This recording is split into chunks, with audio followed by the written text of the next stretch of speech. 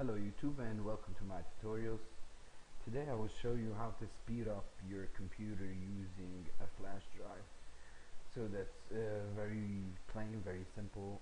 You just get yourself a USB flash drive. It's recommended that you get one that has like quite a bit of memory on it, but you can use like anything that is USB 2.0 and has like let's say one gigabyte of RAM on it or whatever you want doesn't matter just get yourself a spare flash drive plug it into the computer.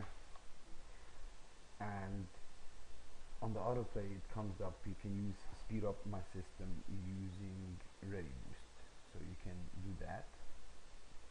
Or if you have it already plugged in or your autoplay is differently configured you can just go to my computer go to the drive to the flash drive and go to properties and go to ready boost.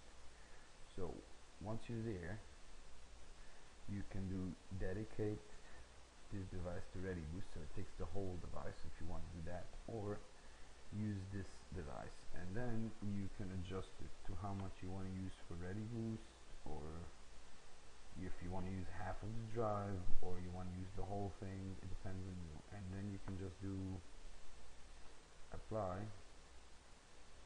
And now your computer will use it to speed up the computer. So and how to get it out of the system is if you just want to use the flash drive again you can just do properties and go to ready boost and do, do not use this device and do apply and OK. And then you have your flash drive back. So Hope you enjoyed my video. Please leave me a comment because I want to know if my videos are fine or they're not fine. Are they working well? Are they helping you? Are they making things worse? Are they making things better? And thank you and have a nice day.